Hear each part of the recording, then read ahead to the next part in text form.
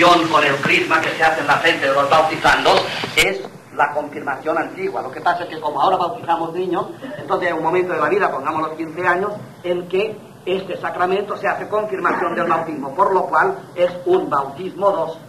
Y por tanto lo que hemos dicho del bautismo es, vale para aquí, pero con una diferencia, que si tú has nacido y te han bautizado, has renacido, pero en la fe de tus padres, sin una fe personal. Y cuando llegas a mayor de edad, entonces te dicen, esto, eso que hicieron tus padres por ti, lo confirmas como tuyo, y entonces ahora ya, el hombre poseedor, aquí no tenía razón, aquí si poseedor una razón dice, sí, lo acepto. Entonces es el segundo paso del bautismo o la confirmación. tenemos por tanto que este es un conjunto, pero noten bien que esto es nacer, esto es progresar o hacerse adulto, pongamos adultez, en cualquiera de estas dos situaciones. Uno puede perder de vista el bautismo, lo anulamos, y perder de vista el bautismo dos, le anulamos, y hacer de la materia una cabaña en la cual uno se encuentre bien. Eso se llama pecado. Otra vez la. Claro, cuando yo, aunque esté bautizado y confirmado, es que, que va. Aquí el dinero es el dinero, la vida es la vida, el placer es el placer, y esta vida son dos días, hay que cortarla. Yo me he instalado en la materia. Eso se llama pecado. Estoy espaldas a la verdad.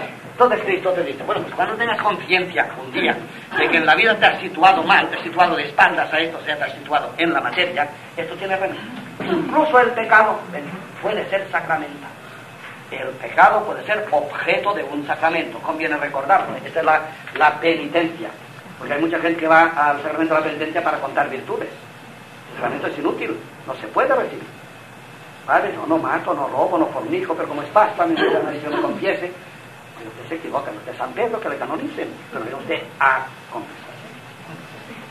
La confesión, la materia indispensable para la confesión es el pecado. Lo que pasa es que como nos duele tanto el pecado. No, si no tienes pecado, te puedes confesar. Los muertos no se confiesan, no pecan los muertos. Los ángeles no se confiesan. Hay gente que va a contar sus méritos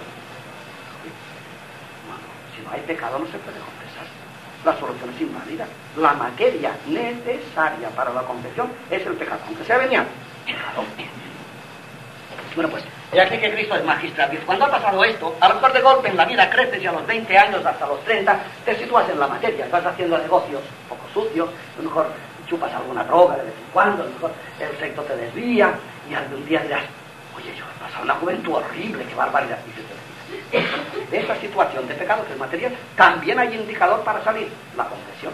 Tanto cuando en la vida uno se equivoca, hay un tercer sacramento que se llama la penitencia. Repito, la penitencia que es para el perdón de los pecados. Bueno, y después hay otra situación en la vida que es fundamental, que es el matrimonio, o sea, la vida juntos, cuando el amor se hace entre hombre y mujer, y entonces esta situación, que es de hacer la vida juntos y procrear en la vida, tan definitiva que el Cristo también te coge y dice, esto también es un sacramento. Nadie puede casarse sin hacer un sacramento. Por eso la iglesia antigua, hasta la Edad Media, no tenía el sacramento del matrimonio, no lo practicaba, por una razón muy sencilla. Dos cristianos no pueden amarse comprometidamente sin que nazca un sacramento. Ya está. Tú eres cristiano y ella también. Os amáis y os queréis amar por toda la vida, sí. Pues ya es un sacramento. De hecho, es un sacramento especial. Pues todavía hoy, después de Trento, la iglesia dice que los ministros de este sacramento son ellos, no es el cura, ¿eh? El cura es un testigo. el sacramento lo hacen ellos, lo saben. Lo saben. Claro que no, vale la pasión, es el amor.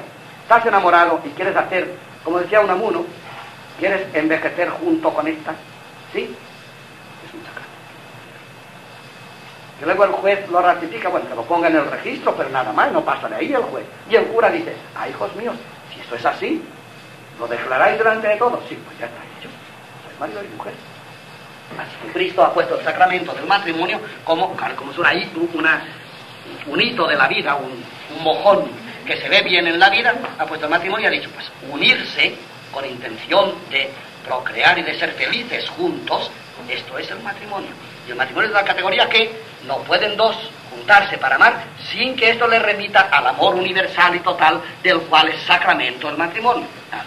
Y luego la, extrema unción, la ordenación sacerdotal también se ve, la extrema unción, extrema unción también se ve claro. El momento de la muerte, que es contrapuesta al momento de nacer. Tú te mueres, ¿y qué? ¿Te mueres? Pues ya te mueres, ya te mueres. ¿Qué es lo que decimos hoy? No se muere, se muere. Y Cristo lo coge un momento, no, no, tú te mueres y el morirte te arroja a... Esto es la extremoncia. Hay un sacramento justamente. Como el morirse es un sacramento, la iglesia cristiana te lo dice. ¿Y cómo te lo dice? Pues administrándote un sacramento que te dice que morirse es un sacramento. Bueno, y así estamos. Ahora falta la Eucaristía, que se la he explicado un poco, pero quiero recordar que la Eucaristía es sacramento de todos los sacramentos, como decía yo magistralmente, es el final de todo sacramento, todos los sacramentos caminan a la Eucaristía. Es el final del sacramento radical, toda la, toda la creación camina a la Eucaristía. Es el final del sacramento personal, todo hombre camina a la Eucaristía. Y es el final del sacramento eclesial, tal como está en la pizarra. Toda la iglesia camina a la Eucaristía. ¿Esto qué quiere decir? Que cuando todos los sacramentos hacen un conjunto, más la vida personal de uno, más el mundo entero, que tenemos explicado, más la iglesia entera, uno se, coloca en la situación del pan y del vino. ¿Cuál es la situación del pan y del vino? Notar bien que Cristo fue magistral, esto crea problemas, pero no lo vamos a indicar. Se puede hacer Eucaristía con otras formas que no sean pan. Una vez lo expliqué, ¿verdad? Los, obispos africanos en el Concilio Vaticano II propusieron que el pan de la Eucaristía se hiciera de harina de patata o de plátano incluso. Porque decían que el pan es importado en África y además, además huele a europeo, con lo cual no es significativo para ellos. Importa ver lo significativo. Todo significa. Todo no es más que una significación. Esto es sacramento. Cuando yo, todo es, no, ya me quedo en ello, ¿no? Todo, todo no es, todo significa. Entonces, para un africano, el pan que viene de Europa, o es importado de Europa, no significa, habremos de estudiar, pero dejemos ahí el tema. Para esto tiene importancia el pan, ¿por qué? Porque el pan es una elaboración humana. O sea, el pan viene de la tierra, creación. Más elaboración, el hombre lo siembra, lo recoge, lo tritura, lo amasa y lo cuece. Fíjate cuánta cosa está elaborado. Entonces, es un producto de la tierra elaborado por el hombre. Y el hombre podría pensar, fíjate qué magistral una cosa que me da la tierra, que encima yo soy tan listo que lo elaboro, he logrado hacer de los granos de trigo un pan que es comestible. ¿Cómo el hombre dice? Al final he logrado poner los pies en la luna. ¿Y qué? Está, hombre. Y ahí dice Pues bien, fíjate. Cualquier situación que tú extraigas de la tierra y la elabores, bien elaborada, bien elaborada, bien elaborada, cuando llegas al final de la elaboración, esto es un sacramento. Ahí empieza la significación, no termina. No te creas nunca que cuando recoges algo de la tierra, como tu propia vida que se, se te ha dado desde la tierra, de la tierra vienes y a la tierra vas, no crees nunca que una vez que has cogido algo de la tierra y lo has elaborado magistralmente, aquí termina tu labor, como sería la vida humana. Sino que aquí empieza el sacramento. Pero este pan tan largamente elaborado, con sudor y lágrimas, este pan es el lugar donde se hace el milagro. Dios es la esencia de este pan y la me pasa con el vino, igual que el pan. Es producto de la tierra, pero a la vez una elaboración del hombre. Y el hombre podría terminar y decir, una vez que yo he hecho de la, uva, la he prensado en el lagar, la he fermentado, mi labor termina bebiéndome el vino, como no es. Pues no, dice Cristo, no termina, porque ahora recojo yo el fruto de la tierra y el término de tu gran elaboración y lo hago mío y lo traduzco en eternidad. Así es tu propia vida la recoges de la tierra, la elaboras durante 80 o 90 años, incansablemente, y ¿qué pasa? Que toda tu vida a la vez es un sacramento, porque al final me meto yo dentro y esa vida tuya se traduce en eternidad. Así que, ya he dicho y repito y termino, todo es sacramental.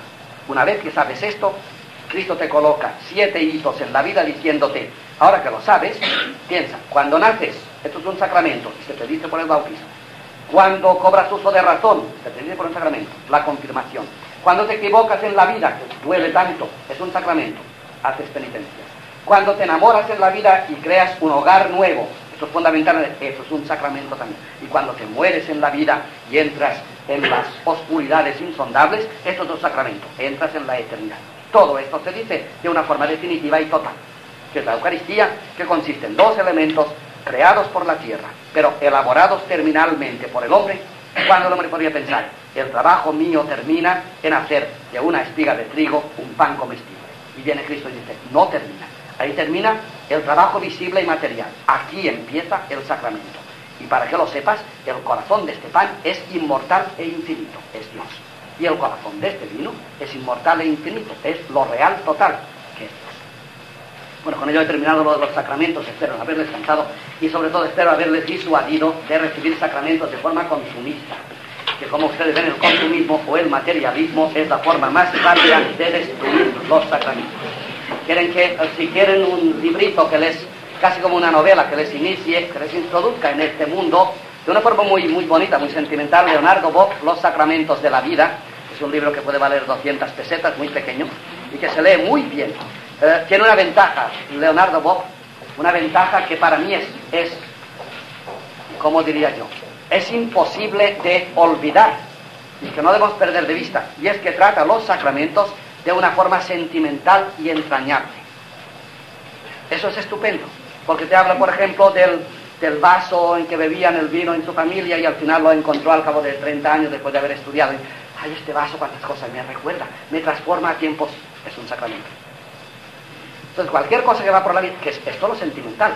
De golpe vas y, y topas con un amigo y dices, ¡Ay, qué alegría! Se me ilumina el mundo. Es un sacramento.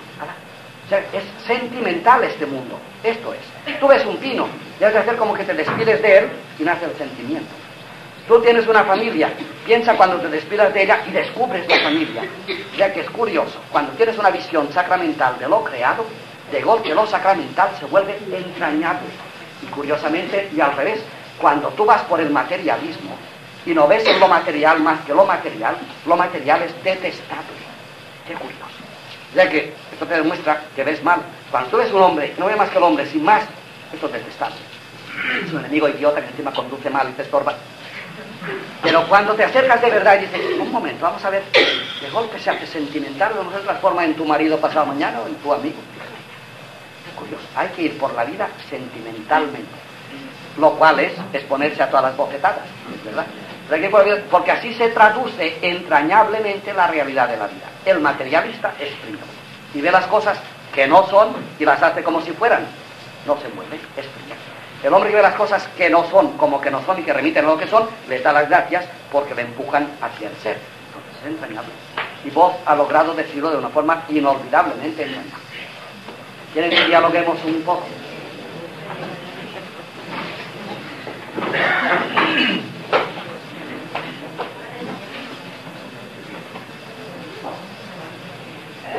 aprendido que en realidad fue Cristo el que todo inventó los sacramentos.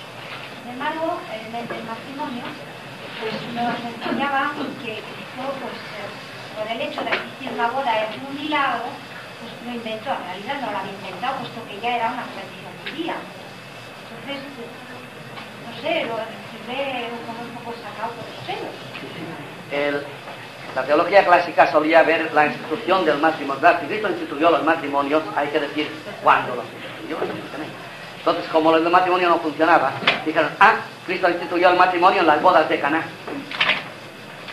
Y toda la Edad Media funcionó así, y mucha gente lo cree así. Fíjate, si Cristo instituyó el matrimonio en las bodas de Caná, aceptó como válido un matrimonio judío sin pasar por la iglesia. No creas que, estaba el Papa ahí, ni creas que se casaron por la iglesia los dos niños que no tenían vino.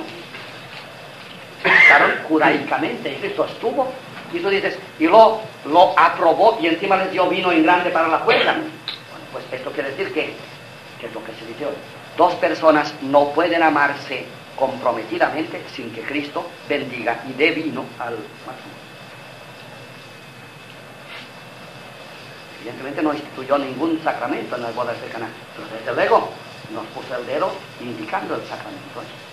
Donde estos dos se han unido para la vida, aquí estoy yo. Y encima con mi madre y mis discípulos. Y añade San Juan.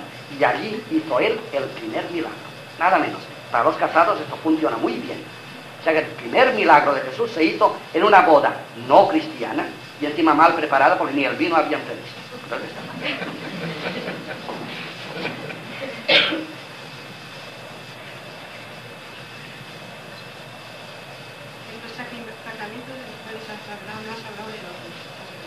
Sí, lo he saltado mucho, es más fácil, porque es un, un compromiso con lo sacro como sistema.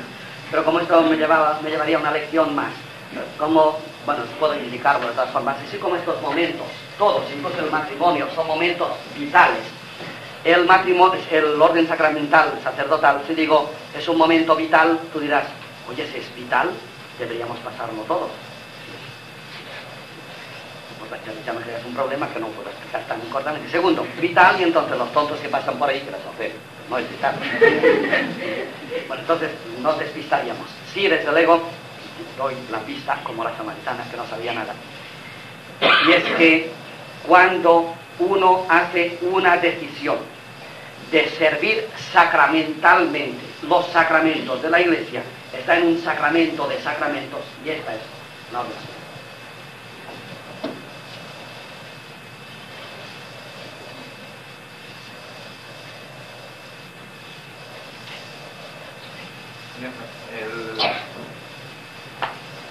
Desde la humanidad consciente de sí misma, o sea, desde que es humanidad, es sacramento. Y es que has hecho un poco también eso probablemente porque estamos en una época, en, una, en un ambiente de catequesis. Pero es muy importante también, yo creo que nos demos cuenta de eso. Porque parece que sacramento no ha habido más que desde que ha habido grandes religiones, desde que el cristianismo apareció oficialmente. No, si, si he dado a entender esto, me he equivocado, porque la primera parte he insistido mucho en que toda la creación es un sacramento. Y esa es la respuesta, lo que lo, puedo decir de otra manera. Toda la creación es un sacramento. Y el hombre no puede asomarse a la creación sin recibir el empujón, la catapulta, de que lo arrojan fuera. ¿Mm? Lo que dice Cristo, mira, porque si miras, ya te dan la ya te, ya te empujan. Si no miras, no ves nada. El hombre primitivo se asomó al misterio de la creación de una forma tan fundamental que el hombre primitivo paleolítico empezó a crear un mundo que se llama las mitologías, que son una traducción sacramental del mundo. He abreviado mucho, pero toda la mitología, todas las religiones de la antigüedad, no son más que una traducción. Si lo material es nuestra casa, no hay religión posible. La religión empieza cuando dicen, lo material es un sacramento que te despide hacia algo que no tienes. Esto es una religión. Lo que pasa que quizás por ahí deberíamos ir. Es que hay muchas religiones de la tierra, incluida la nuestra, que saben muchas cosas, pero esta, que es la única religión, no la saben. Saben ir a misa, saben comulgar, saben confesar, pero no saben esto. ¿Qué es religión? Hombre, religión es apuntarse a eso, a una religión. Es lo de la samaritana. Religión es el corazón del hombre. Cuando el hombre tiene un corazón que palpita a tono con la materia, y entonces en sincronía con la materia es disparado hacia, ha nacido una religión, no es más. Por tanto, puede suceder que un hombre dentro de una religión determinada haga, por ejemplo, de los sacramentos una materia, ¿se acuerdan que lo hemos dicho? De forma que vacía de contenido la religión. Aquel hombre que recibiera sacramentos para evitarse su compromiso con el mundo, no tiene religión. Y por eso los medievales decían, no hay sacramentos fuera de la iglesia, fuera de la comunidad, la que sea. No hay sacramentos, claro. Un hombre no puede recibir ni hay sacramentos, sino en una traducción sacramental del mundo. Y repito, da la impresión que hay muchos cristianos que reciben muchos sacramentos, pero lo hacen para poder distraerse del sacramento vital que es transformar todo lo que tocan en eternidad. Así que el hombre primitivo tenía muchas veces más razón que nosotros. Los sacramentos, al menos los siete clásicos, ¿Tienen valor por sí mismos? ¿Tienen algún tipo de valor por sí mismos? Por sí mismos quiere decir... Si alguien no sabe nada de eso, por ejemplo, por ignorancia simplemente, ¿no tiene ninguna eficacia? Sí, si hay buena intención, sí, porque la buena intención es sacramental. Eh, eh, también la iglesia todo esto lo tiene previsto. La iglesia, como ha visto tantas estupideces, pues tiene respuesta para todo. Y los medievales dicen, suple eclesia. O sea, usted suponga que, ahora me hace usted desdecir de todo lo que he dicho, ¿eh? pero acepto el, el riesgo.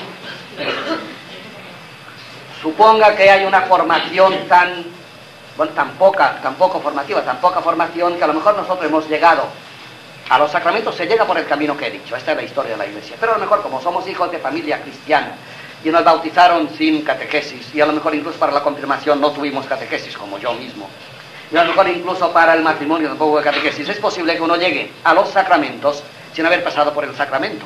Es posible. Entonces usted pregunta, como yo he dicho, bueno, pero es que el que no conoce el sacramento no puede recibir el sacramento. Esto lo he dicho. Ya os digo lo contrario. Sí, la paradoja es la verdad, sí. En el sentido de que si uno no sabe todo esto que hemos dicho hoy y va a comulgar. Primera afirmación.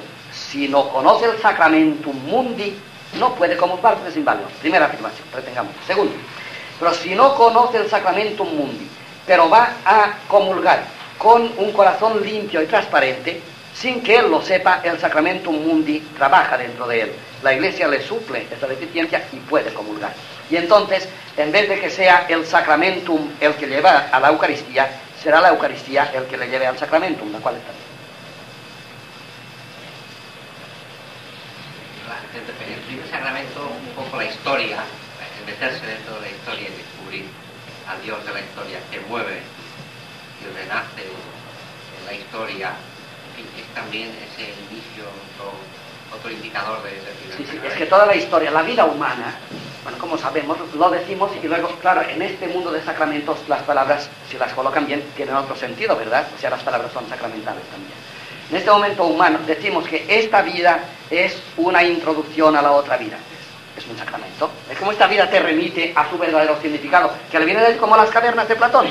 Estas figuras que pasan aquí nos remiten afuera donde pasan de verdad. Esta vida no es más que la sombra de la vida y nos remite a la vida verdadera que a la cual llegamos a través de esta vida, ¿eh? importante. La materia hay que perforarla, sin materia no llegaríamos. Como ustedes no me conocerían a mí nunca si yo no tuviera cuerpo. Es evidente el problema de los muertos. Curioso. Los muertos no se puede, nosotros no comunicamos con los muertos porque no tienen cuerpo. Nosotros solamente percibimos a través del cuerpo. El cuerpo es la relación. Mi yo, está interior a mí, si es que le tengo. Mi yo, ¿cómo se manifiesta a ustedes? A través de mi cuerpo, no hay más manera. Las palabras, la cara, las manos, la forma de caminar, la forma de sentir la vida, es igual. Es una transmisión. Los muertos no se comunican o no recibimos su comunicación. La historia es igual. La historia es algo que deviene. Bueno, tú puedes embarcar en la historia de pues, a mí me ha tocado el siglo XX, que es imbécil, idiota y un gobierno tonto. Bien, así estamos. Puedes meterte por la historia y decir, vamos a ver qué es lo que pasa en el corazón del... Ya estás en un sacramento. Y la historia es un sacramento. Esto tiene, tiene tal categoría que no sé si sabes con la pregunta, que es muy maliciosa la pregunta, porque hace 20 años era tremendamente polémica. Y tenía un defensor, que ya ha muerto, que yo tuve de profesor, el padre Danielú, que fue cardenal después, jesuita. En el Instituto Católico de París él enseñaba, y enseñaba que hay dos historias. La del mundo, que se pierde como agua en la arena, toma, y la de la salvación, en la cual ingresan solo las personas de buena voluntad, de la cual, de todas las personas de buena voluntad que se salvan, es sacramento la iglesia. Toma, otro sacramento. Sea, los cristianos vamos al cielo, supongamos que sí. Y los no cristianos, si tienen voluntad, sí van al cielo porque forman la iglesia cristiana, puesto que la iglesia no son solamente los cristianos, sino los no cristianos. Al revés todavía. La iglesia son los cristianos que son cristianos y los no cristianos que son cristianos. Pero no lo son los cristianos que no son cristianos, ni los no cristianos que no son cristianos. los cristianos no cristianos no forman parte de la iglesia. Claro. Pero el sacramentum total es la iglesia que es la comunión de los hombres de buena voluntad. Decía Daniel, bueno, pues esta iglesia lleva a la salvación. Los hombres de buena voluntad son un camino que pasa de esta historia a la historia de salvación. Por tanto, para el creyente de verdad, para el hombre de buena fe, la historia camina hacia la salvación. Historia de salvación. Para el hombre de mala fe, la historia camina a ningún lugar. Se queda muerta en la materia, tal como hemos dicho. Y en cambio la otra corriente, no, no, no, no. Toda la historia, como toda la creación, camina hacia la, hacia la salvación. Si deja un poco de morena lateral, ya verán los laterales que hacen, pero la historia es una sola, que es lo que tú preguntas. Desde el corazón de, la, nuestra historia, maldita si queréis, se llega a la historia de salvación. Muy tarde, muchas gracias, hasta dentro de aquí.